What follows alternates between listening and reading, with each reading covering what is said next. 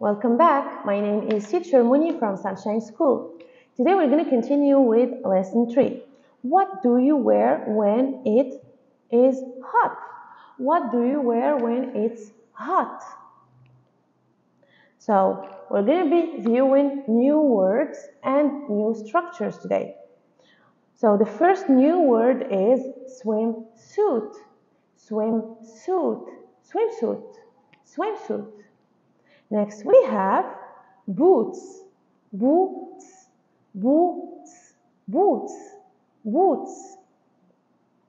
Next we have shoes, shoes, shoes, shoes, shoes. The next word is skirt, skirt, skirt, skirt, skirt. Now let's ask and answer questions about clothes. What are you wearing? I'm wearing. What are you wearing? I'm wearing. Let's check the first example. What are you wearing? Swimsuit? I'm wearing a swimsuit.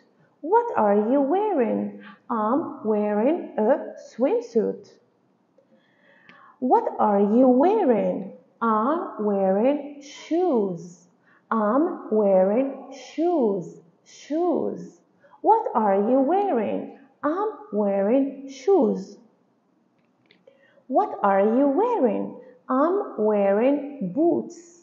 What are you wearing? I'm wearing boots. Next we have, what are you wearing? I'm wearing a skirt. What are you wearing? I'm wearing a skirt. Skirt.